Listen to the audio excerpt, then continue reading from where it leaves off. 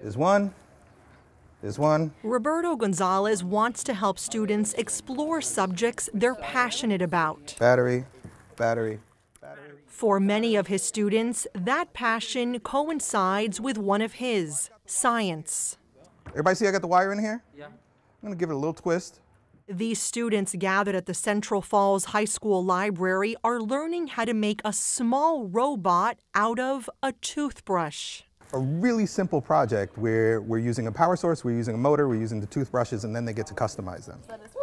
The group meets once a week after school to work on these projects. They don't have to attend, but they want to. Wednesdays we do engineering days. So we're like learning how to make circuits, we're learning how to make robots, doing AI and coding. I love hands-on stuff. I can never be a kid that could sit like sit still or stand still. So it's like working with my hands and being able to do stuff. Eh, I find it interesting for myself. We've learned a little bit of wiring. If we wanted the wires to really stay together, we might get into soldering. What's soldering? In 2013, Gonzalez was working as the technology center director at a local youth organization when he decided he wanted to do something to address the gender gap in the STEM fields science, technology, engineering, and math. There was a large gap between girls who were leaving programs with science degrees, but the jobs, the incoming jobs, were going to boys. Over 50% of the girls were getting the degrees and less than 30% of the girls were getting the jobs. Do you think the bananas conduct electricity? Yeah. All right, try it. Sh show me. Using his degree in sound engineering, Gonzalez created a nonprofit called STEAM Box. He works with several schools in Rhode Island developing science and technology based programming. This is more than STEM. This is STEAM, not STEM. Why STEAM? Here's a little secret STEAM is a little redundant with STEM. You can't have STEM, science, technology, engineering, and math, without the arts. Who does the design work? How does that how does any of these things get designed?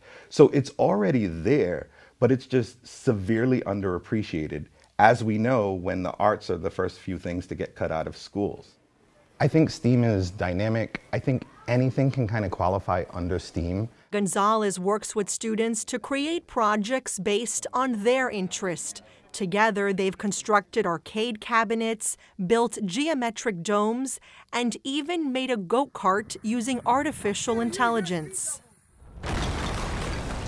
They've also designed special effects videos. He says students learn best when they're engaged and taking ownership of their work.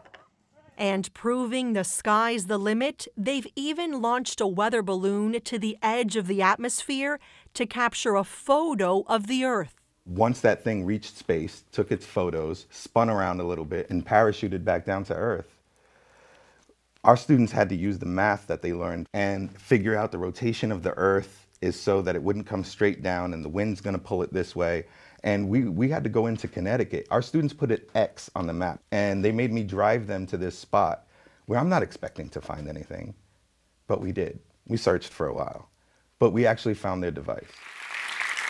STEAM Box is offering these students technology to follow their passions. Technology is offering these students more power than any of us have ever had. And with great power comes great responsibility. When Gonzalez created STEAM Box, he says one of his primary goals was helping students master content. But that changed during the pandemic. I didn't feel like we were serving the whole student. Yes, we were gearing them towards academic success. Yes, data shows that they're more likely to attend school on the day that STEAM Box is in the school. But we were not helping that student want to see tomorrow. And it seems like an extreme thought, a student wanting to see tomorrow.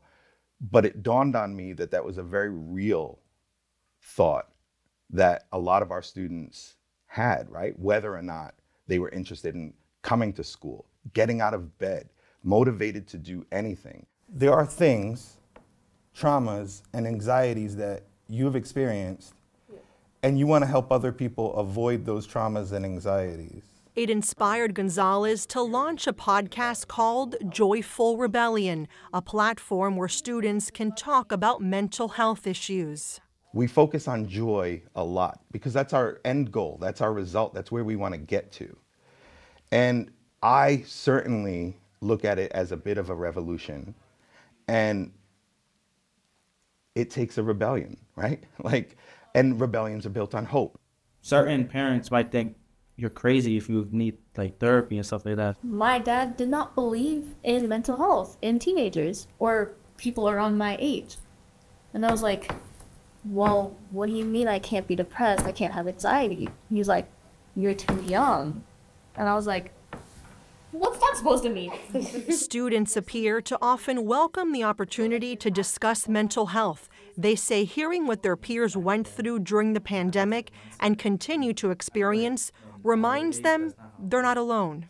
That's very common nowadays, hiding your emotions, hiding what it is that you actually feel. I used to think like that a lot. Actually, before STEAM Box, I used to, I'm not gonna open up to nobody because I'm not gonna be looked at as weak. And after STEAM Box, I could say that I've opened up more and I've connected with people and I have matured in a way because I've heard other people's experiences. I feel like what this pandemic has showed us is that this mental health thing really comes from the lack of social that everybody has had during the pandemic because there's many people who stay alone and stay like in their head and that's the bad thing. They don't have nobody to speak to. Growing up in a latino household for me in my generation like if you needed therapy like you you suck. Gonzalez wants to destigmatize mental health and help them explore what they're passionate about he sees himself in many of the students in the program.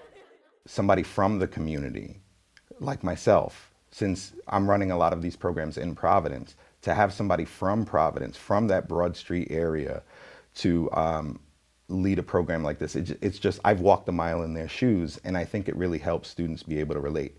Representation matters, and that's something that comes up often in our programs. I want to show you guys how to make 3D models and how to do 3D printing.